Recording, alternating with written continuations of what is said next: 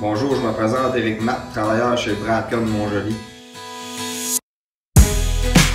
Euh, moi, j'ai eu la chance de rencontrer Martine Ouellette à une assemblée régionale.